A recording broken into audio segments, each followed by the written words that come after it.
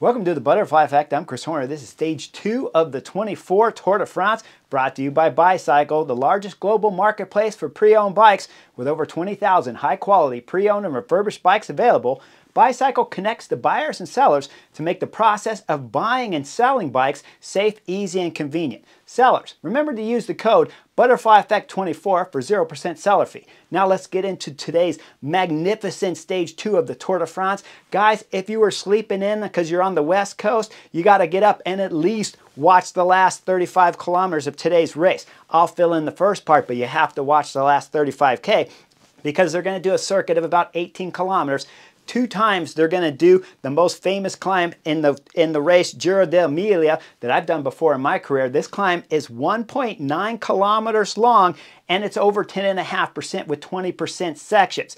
The climb is a monster and everyone knows it as Côte de San Luca. Now, when you get into this climb, it is mythical. Regardless of what you're watching, if the commentator tells you it's not mythical, it always is. It blows up races every time on here. The crowds are magnificent. They're stacked here on today's stage two of the Tour de France. So like I said, make sure you last watch the last 35 kilometers. If I take you all the way back to the beginning, though, with 199 kilometers to go, that's 125 miles thereabouts. It's going to be an exciting race. They got a bunch of bumps to go over that are super steep, some even steeper than San Luca, but they come in the middle of the stage. So those aren't mythical, but the last one certainly is. As we see the breakaway get up the road, we got 10 riders up there, and then we see Bram from DSM, Bram Welten. He's going to drop out once we get into the first KOM climb.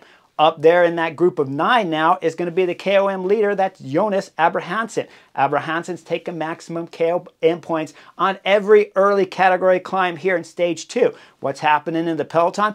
Well, the gap started to increase. I mean, it's getting way up there, six and seven and eight and nine minutes up there to the break. And then we're going to see that the DSM director sportif, just under 100 kilometers ago, he's going to tell us guys, as he's brought the gap back down to about six minutes, maybe five and a half, we're going to see that the DSM director on the radio, he says, okay, we can start backing off. We can let the group come back together. We can have other guys start chasing in the back if they want to win today's race, is what he's telling his teammates.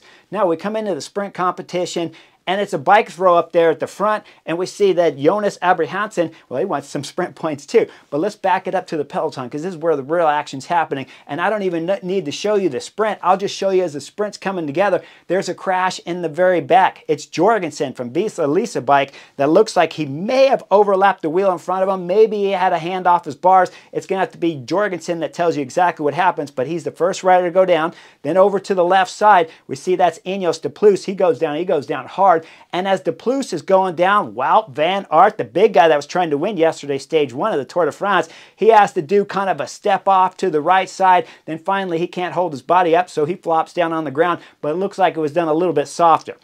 As Wout Van Aert gets up on the bike and gets going, we see the thumbs up from Wout Van Aert. When the camera goes back and finds De Plus, De Plus isn't happy at all. They gave him a new bike and then he's got to change bikes and he's still not happy. Maybe they gave him the wrong bike. I don't know. But De Plus is all ripped up. His clothing's all messed up. Gets on another bike, gets going. When we look at what happened to Jorgenson, well, he got messed up on the right side of his body there like Wout Van Aert did. As Wout Van Aert spending time at the medical car, just getting touched up because he ripped his shorts back there too. Though all of them will get back in the front of the peloton. Now we start getting into about 60 kilometers to go. That gap that was down to about five minutes exploded back up to nine and a half because everybody in the peloton went curb to curb and nobody wants to ride on today's stage two, the Tour de France, because with four big time favorites, everybody's trying to save energy. If you take the race win here on today's stage two of the Tour de France, you got to at least be able to gain some time on the favorites if you're going to put in effort. You don't want to just wear the, wear the race leader's jersey, unless, of course, maybe you're Remco Evenepoel because you're new here to the Tour de France. You might like the race leader's jersey, but, Rem, but aside from Remco Evenepoel, Primoz Roglic, well, he's a veteran. Tadej Pogacar's worn the jersey and, wore, and won it twice. And Jonas Vingegaard, well, he's done the same thing, won the Tour de France twice. So those three riders aren't interested in making the race too hard. We see the break start going back out, like I said, up almost up to 10 minutes with about 60 kilometers to go. Now I got to give you a 15 second ad from buycycle, our sponsor today.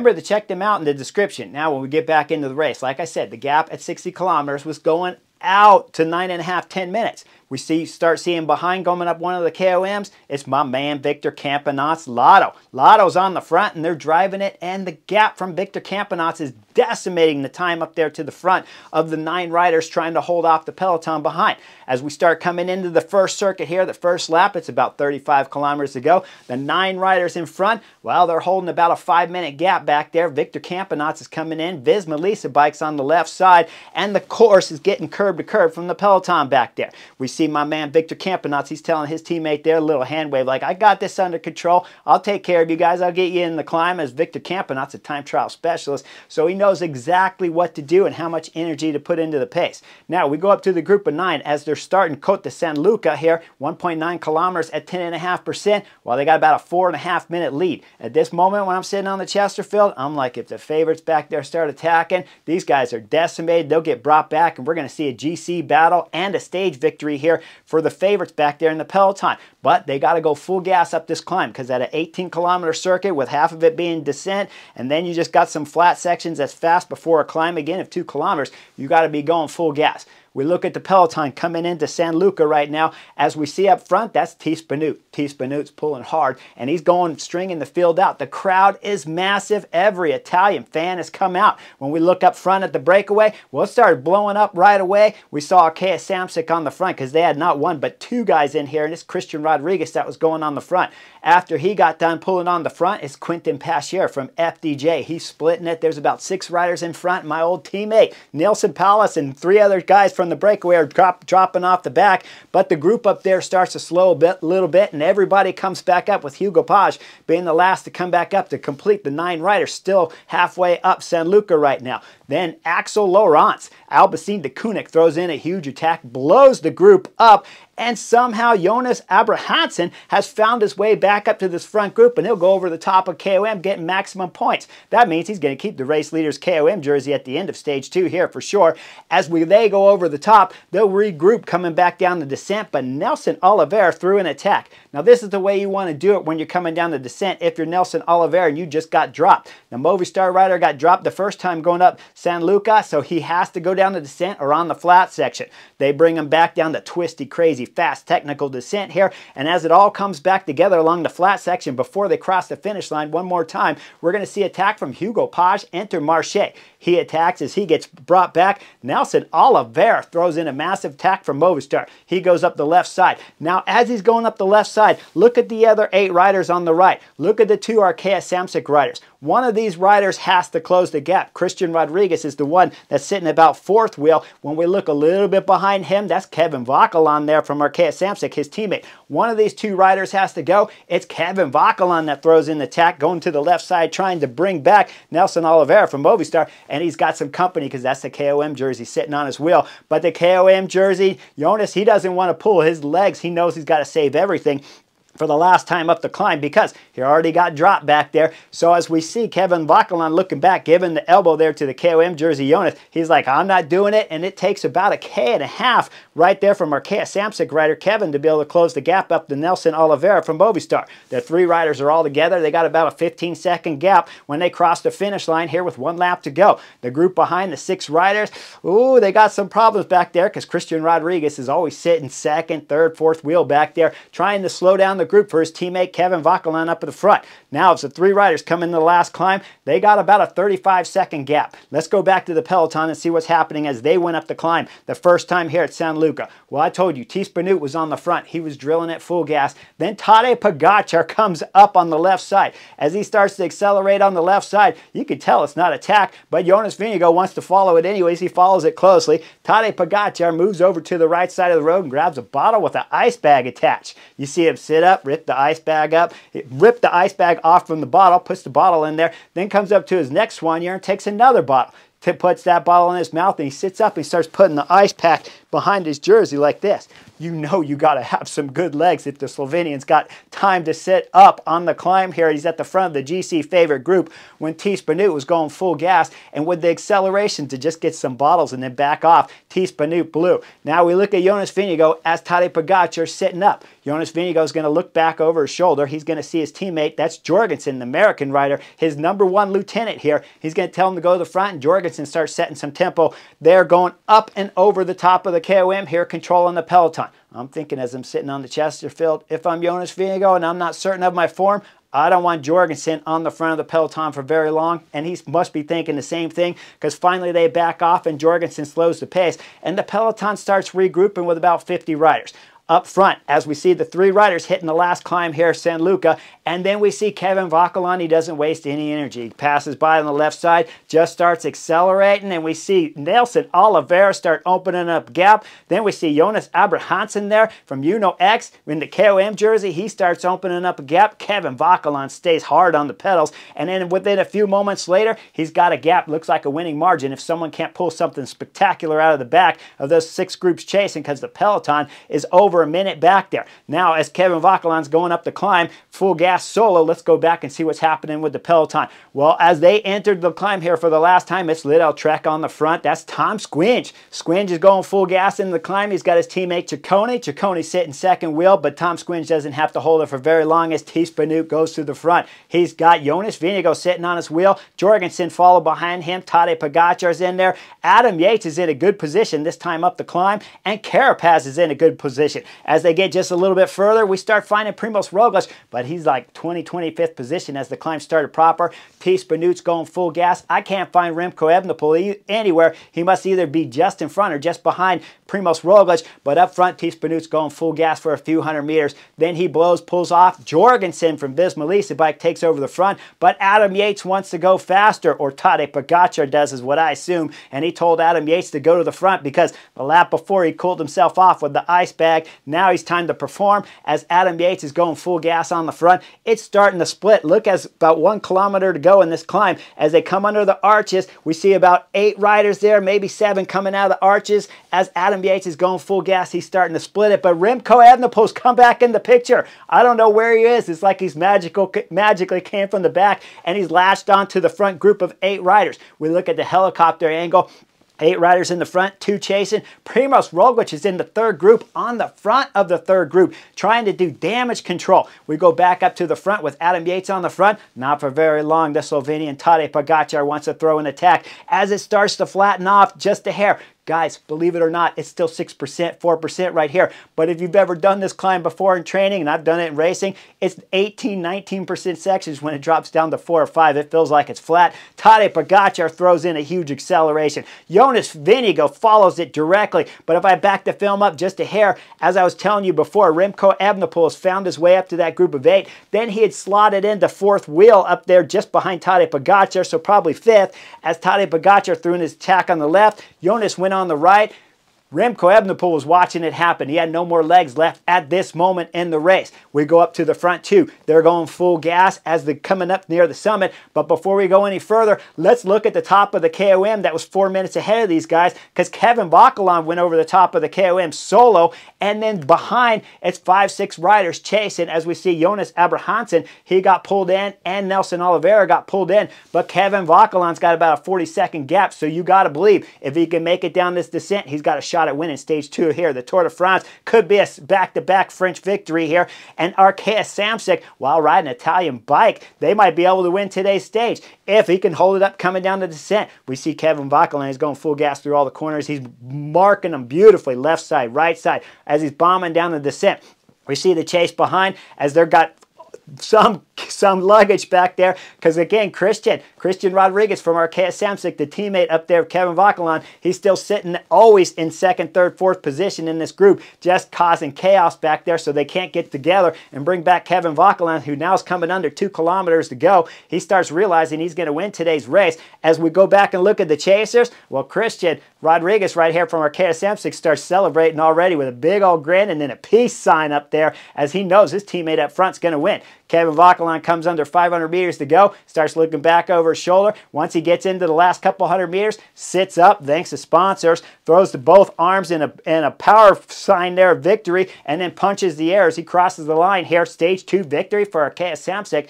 Behind in the group of six, what was happening? Well, we see that it was Jonas Abrahamsen that gets a gap there in the final few hundred meters, holds it off for second, and then it's Quentin Pacher that rounds out the podium, sprinting the breakaway riders back there. Now let's go back and look at the GC battle because they still got to go up the climb. Tadej Pogacar is drilling it on the front. Jonas goes sitting second wheel. He won't take a pull with the Slovenian as the climb is still in its steepest sections here before they get to the top of the KOM.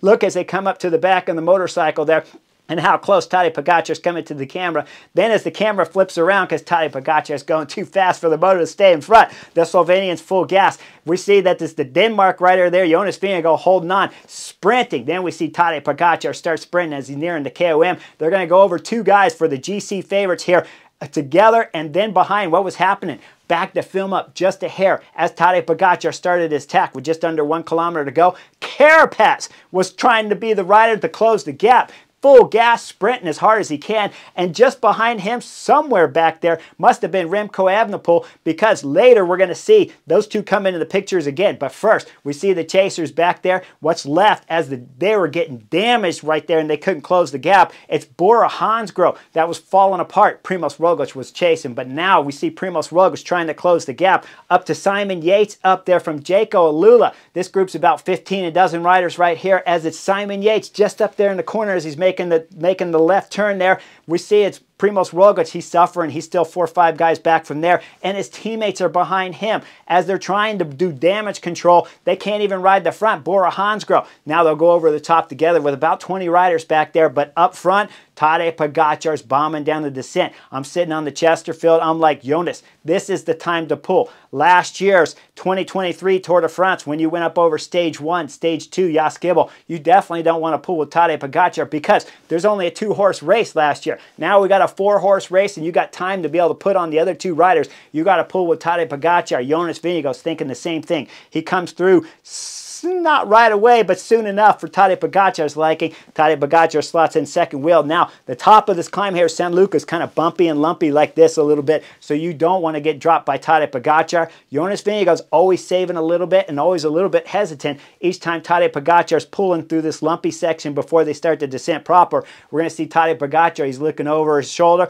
He's giving the left elbow, he's giving the right elbow, and Jonas Vingegaard still won't come through until they hit the descent proper. Now, once Jonas comes through, Tadej Pogacar sitting second wheel, then he'll relieve him, and they're rotating through pretty good, holding a 40-second gap on the GC favorites behind, but we don't know where Remco Evenepoel and Carapaz is. They've left us in the dark. They come down to the flatter section here as they're coming off the climb. They still got a gap of about 40 seconds, 35 seconds on the gap behind of the GC favorites, and then as we're coming into about one kilometer to go, well, Jonas Vingegaard's done working with Tadej Pogacar. Tadej Pogacar's pulling into one kilometer to go, and look at Remco Evenepoel back there with Carapaz. Carapaz and Remco Evenepoel got the two riders in their sights. Remco Evenepoel's trying to do damage control, trying to bring back the two favorites. He's in TT mode with Carapaz. As they come into 350 meters to go, Remco Evenepoel starting to close up on the back there of Tadej Pogacar. Tadej Pogacar's had enough. He's been pulling on the front for too long. Jonas Vingegaard didn't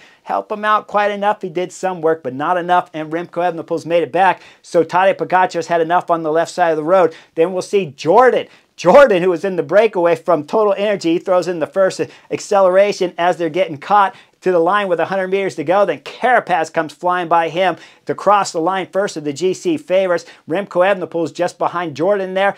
Jonas Vingegaard solid on third coming through this GC group. And then we'll see Tadej Pogacar come through last, but he's going to get the race leader's yellow jersey. And guys, Tadej Pogacar looked like when they attacked, when Jordan attacked, when Carapaz attacked, when Remco Evenepoel followed it, and Jonas Vingegaard followed it, Tadej Pogacar didn't even get out of the saddle. He just pushed on the pedals. Even as he's crossing the line there, you see him messing with his nose at the back of the group. The Slovenians got some form, but guess what? Jonas Vingegaard has some form after the Stage 4 crash at the Basque Country. Doesn't look like it's affected him too much here on Stage 2 because Visma Lease bike are in shot of winning the Tour de France here. Now we look at the other GC favorites. Well, as Remco Evenepoel was attaching to Tadej Pogacar with 350 meters to go and the sprint started proper, the GC guys, the other ones, the Primoz Roglic, the other Slovenian, he was about 20 seconds back, so they'll cross the line, losing about 20, 21 seconds to Tadej Pogacar, Remco Evenepoel, and Jonas Vingegaard. But when I dissect the race proper, like really proper when you look at it, Remco Evenepoel was out of position the last time going up San Luca badly out of position. You had Tiesj going full gas. Jorgenson was going full gas. Adam Yates was going 100% with everything he had. And the same time when all three of those riders were pulling on the front, Remco Evenepoel in a bad position. I'll call it probably 20, 25th position when the climb started. He was closing the gap himself coming up the outside. He had to be. I couldn't find him in the picture anywhere, but he closed up as the group was falling apart back there. Remco Evenepoel closed up all the way onto the back wheel of Tadej Pogacar. Now, at that moment, he was going to need a little rest because we were under one kilometer to go. So that means 1.2 kilometers thereabouts. Remco Evenepoel was doing 100%, just as Tadej Pogacar threw in his attack. After the climb, he was able to recover. He was able to go full gas. Yes, I know Tadej Pogacar and Jonas Vingegaard played a little bit of cat and mouse. Not a lot, but a little bit of cat and mouse. Once the group, once the road flattened out a little bit, Remco Evenepoel attached at 350 meters to go. But he had to be something remarkable.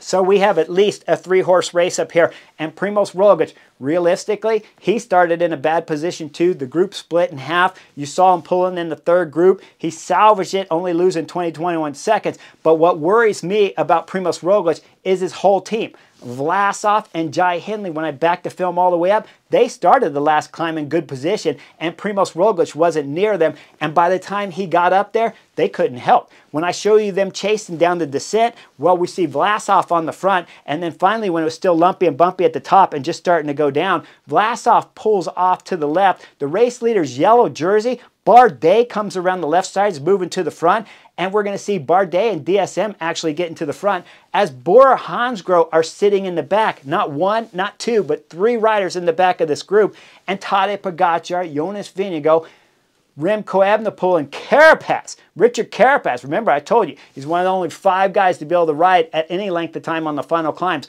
with the four best riders in the world at any point in time during the Tour de France. He's been solid at different times of the seasons, but right now he's up there, so how good is he? So at that whole time, when those four riders are going away, Bora Hansgrohe sitting at the back of the group and not pull it. So Bora Hansgrohe is going to do some damage control, and everybody better get better here at the Tour de France.